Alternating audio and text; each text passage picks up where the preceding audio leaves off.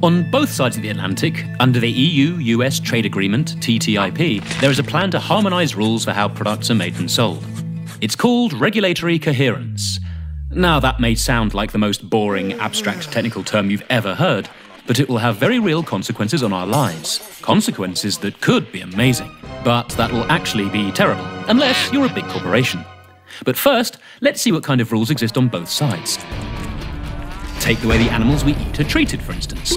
In the US, the focus is on the end product. As long as what ends up on your plate doesn't kill you, it doesn't matter how it got there. In the EU, the focus is more on the animal's welfare and quality of life, until it ends up on your plate. Now take medical devices like hip implants. The US has much stricter rules than the EU. By raising EU standards up to the US ones, we could have the best prosthetics.